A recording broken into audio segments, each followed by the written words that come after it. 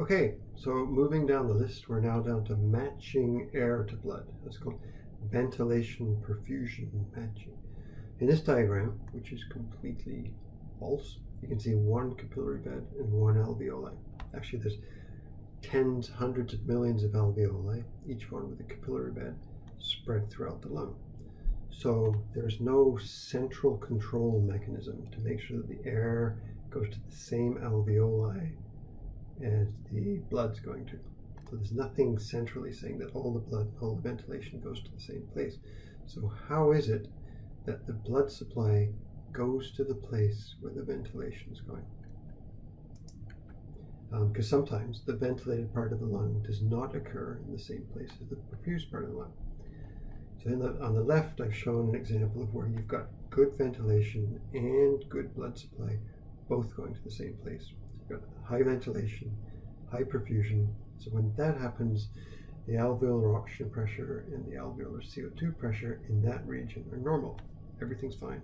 Got good ventilation, good blood gases leaving in that blood going out to the arterial system. If you had an area where there was high ventilation and low perfusion, so because you've got lots of ventilation, very little perfusion, then the alveolar oxygen pressure is there is going to be high the alveolar CO2 pressure there is going to be low. The reason is because there's so much ventilation bringing in fresh oxygen, very little perfusion bringing carbon dioxide. So you've got high oxygen pressures, low carbon dioxide pressures. An example of where that might happen is in the apex of the lung. Very little blood supply gets up to the top of your lung because of gravity. So you might have more ventilation up there and less perfusion. A clinical example would be in a pulmonary embolism. So if something gets stuck in the blood supply, slowing down the perfusion to that part of the lung, then you'll have a high ventilation perfusion ratio in that region with abnormal blood gases. Another example is an area of low ventilation perfusion. That's where you've got low ventilation and high perfusion. So now you've got less oxygen coming in and out because you've got low ventilation, but you've still got high blood supply coming, bringing carbon dioxide. So in this type of area, you'd have a low alveolar oxygen pressure and a high alveolar carbon dioxide pressure. So quite different than an area of high ventilation perfusion. There's many, many clinical examples of where this might happen. So asthma, we've got regions of the lung, we've got bronchoconstriction, narrowing of that airway, you've got low ventilation to that area. Um, lung cancer, you might have a tumor impeding on an airway.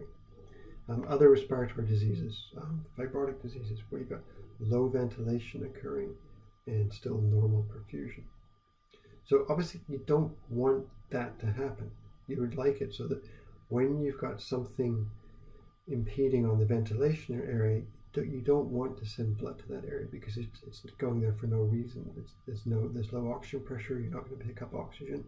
You're not going to be able to get rid of the CO2 because the CO2 is going to build up there. So there are correction mechanisms. There's control mechanisms to try and make sure that ventilation is matched to perfusion. So the pulmonary vessels, you've got precapillary sphincters back here that sense the oxygen and CO2 pressures in that region of the lung. If the pressure of oxygen is low, or if the pressure of CO2 is high, then you get constriction of those vessels. So if you imagine here you've got a patient with asthma where this airway is narrowed, there's poor ventilation to this part of the lung, the oxygen pressure is low, the CO2 pressure is high, that's sensed by the oxygen sensitive and CO2 sensitive tissues in that precapillary sphincter, and that narrows. So now you've got decreased blood supply coming to that region of the lung. So that's the way the lung tries to make sure that the perfusion is always going to areas where there's normal or, or good ventilation. Anytime you've got a narrowing of the airway, then you block the perfusion to that part of the lung, which means it has to go somewhere else. So think about whether that could cause problems for anybody. You have a system built into your lung, which isn't sort of globally intelligent it's just intelligent down at this level. You're going to have narrowing of that vessel if the oxygen pressure there is low or the CO2 pressure there is high. So think about whether that could cause problems for anybody. We'll talk about that in the um, large group session.